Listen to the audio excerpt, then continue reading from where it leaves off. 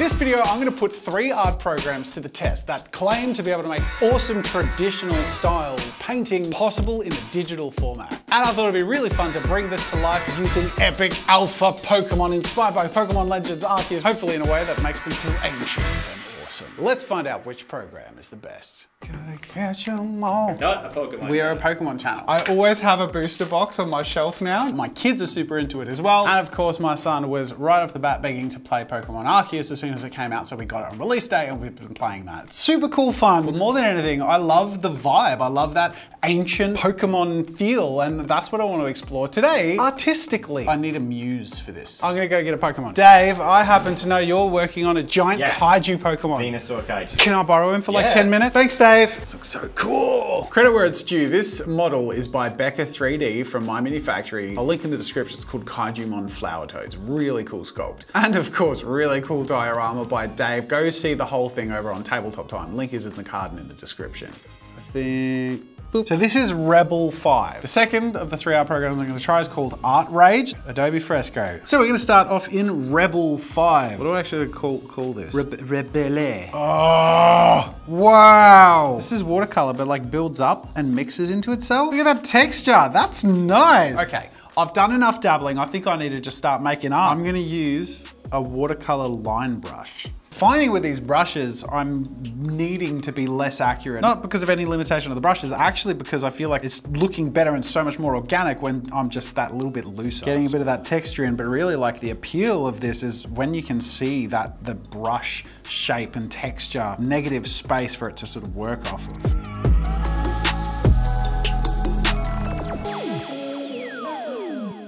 All right, what, what, what, what are we doing for color? I'm loving this. Maybe this is a pastel job. And the cool thing about this really naturalistic approach is going over the lines ain't no big deal. In fact, it just sort of adds to the effect a little bit as long as it's, you know, within reason.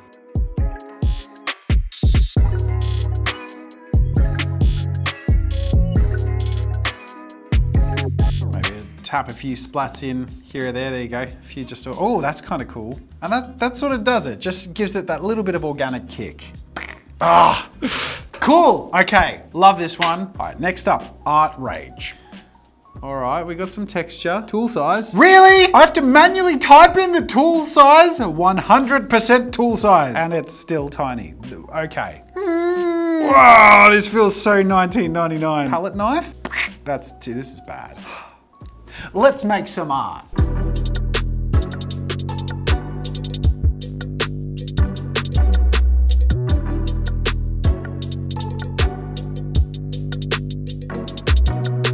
I'm gonna try and get as much of this virtual 3D paint on the canvas as possible and spread it around using the knife and the brushes, but I'm gonna start really blocky and quite blobby and slowly but surely work it into the shapes and the textures and capture the tone that I want. Hopefully this will create a really naturalistic feel, but time will tell. Now, as you saw, I put down a lot of paint to try and work with that physical sensation of painting. There were times when going through this piece that it did sort of feel like I was working with physical paint, which is kind of cool, but it's not as good in their digital representation, so it feels a bit off. Plus, sometimes it just feels like a digital program. It's sort of forcing me to be raw and rough, and I don't feel like it's looking cool as a result.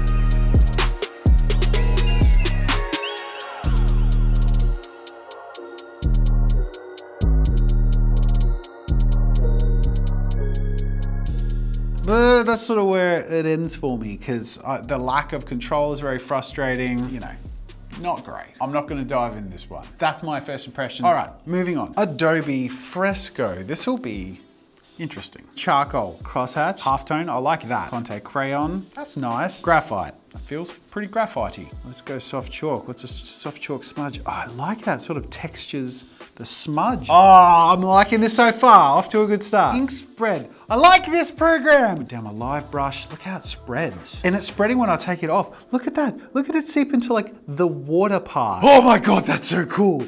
And it like spreads into itself. All right, Adobe.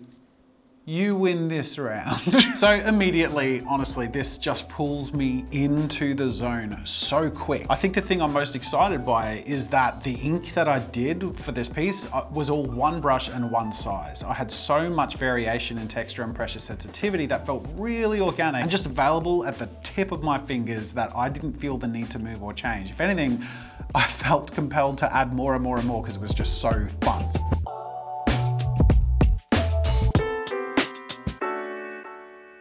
I did like 99% of the colors in the watercolor wash soft, which was a live brush and holy crap, this is cool. Like honestly, the, the way that it actually feels like watercolor and you put down the darks and it sort of mixes in with the lights and when the colors intersect, they sort of bleed into each other in a really cool and organic way that I love, absolutely love. It's that perfect imperfection, that naturalism that just ekes into your artwork.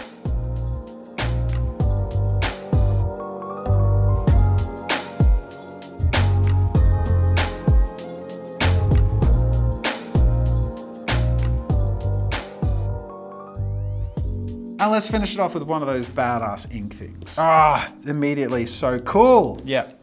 I love this. I love this program. I love this program. So this was a really useful experience because not only can we compare the direct results of the different programs using the same artwork as a base, we can also eliminate the ones we don't like. So, sorry Art Rage.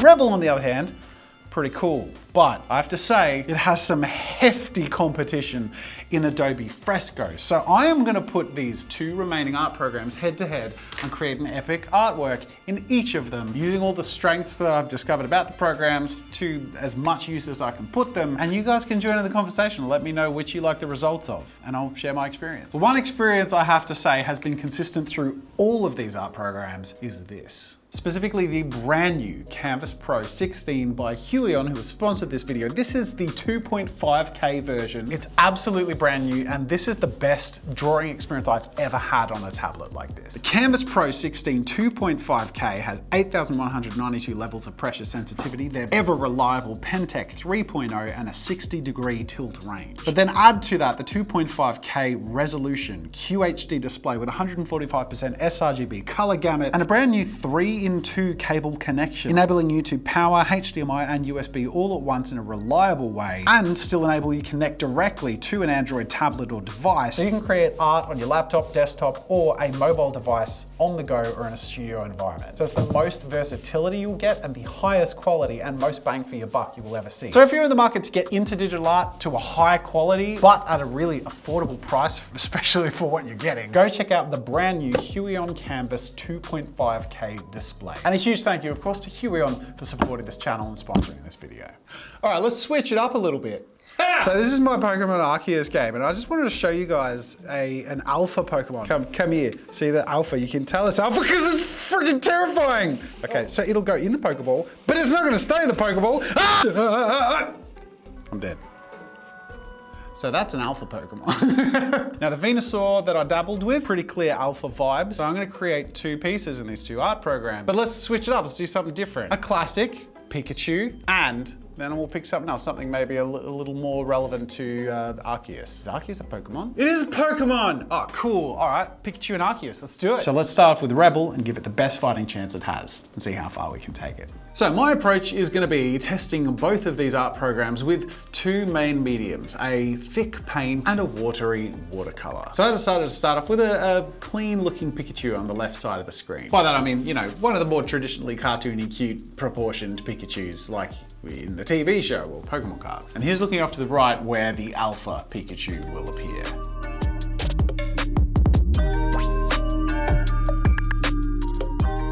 With the line work fully done, I muck around with a few different mediums, but it only felt right to use a really solid paint to fill in Pikachu, which I did and was pretty happy with the result. It felt pretty much just like doing digital art at this point, which is where I was hoping that the alpha Pikachu and having a much more textured and watercolored effect feel would be a lot more different and naturalistic. I have to say, for the at least the first good portion of creating this, I was a little disappointed having come from Adobe Fresco. I felt like I was missing all that dynamism. I mean, the ink brushes feel cool, the watercolor brush textures look fantastic, but I was just missing that traditional feeling of working with the mediums until all of a sudden I stumbled across what I thought was a brush that was doing it amazingly. And it felt like fresco to a degree. And then about 10 minutes later, it disappeared again. And I spent another 15, 20 minutes trying to figure out what the brush was, but no, it was a setting. I am a fool and I just discovered something I need to let you know because this changes everything. I must have hit something accidentally.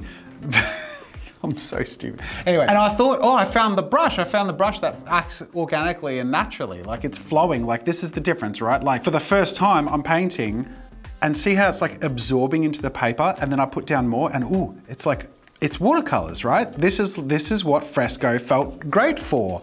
And it's doing it really well. And I'm like, what did I miss? Like, is it just the special brush? No, no, it's a setting that I accidentally had selected for the whole dabble and everything so far. It's this, see the tiny little button right there?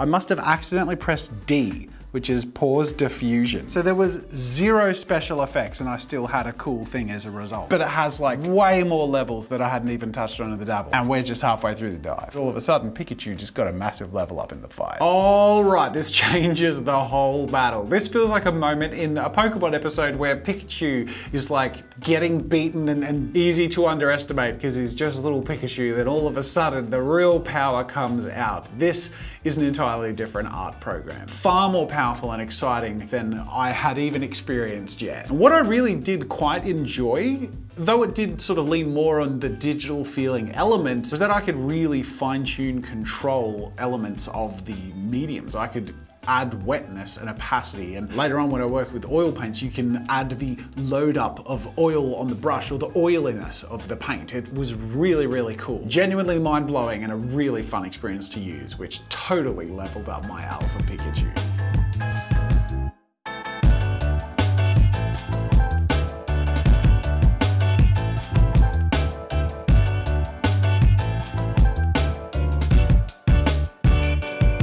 I finished this Alpha Pikachu yesterday. I'm pretty happy with the results, but coming up against Fresco, which I have to say, as far as the first impressions of all three goes, it's gonna be hard to live up to. So we're in the previous one I did Pikachu. I thought for this one I would do Arceus, who's the namesake of the Switch game that I've been playing.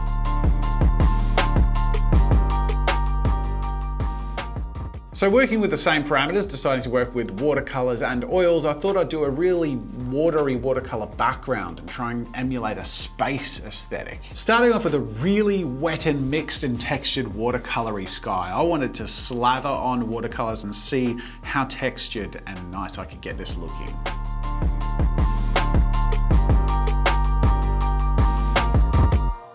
So now on to Arceus, and this is gonna feel a little different because I switched from the dynamic watercolors to dynamic oils, and it feels so good. I approached this like I was painting with oil. I painted the whole thing on one layer because I knew I'd be coming back later in details and I'd wanna blend it and sharpen it, and I wanted it to feel like I was painting with oils, and it did at every step of the process.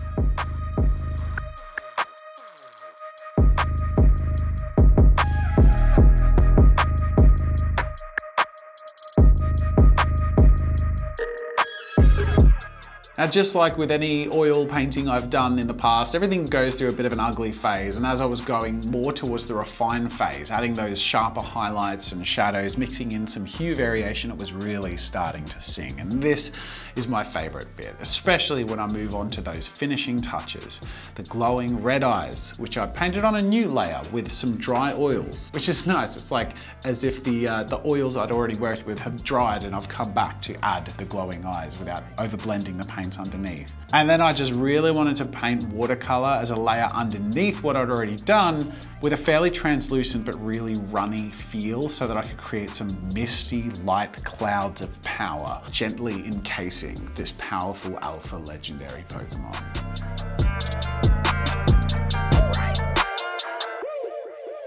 And I have to say, this is one of the artworks I'm most proud of that I've painted in a while. Not only because I love the outcome, I'm really proud of it, but it was fun at every stage of the process. Especially fun with my Kamvas Pro 16 2.5K. The fine touch control that you need for it to feel this good is just innately in such a professional and affordable device. So huge thank you to Huion for sponsoring this video and a massive thank you to you for watching this video. I hope you loved the outcome. My verdict is Fresco was amazing. And if you enjoyed my Pokemon video, let me know because I'm enjoying Pokemon lately, so you might see a little bit more if you want to. I want to. We'll see what happens.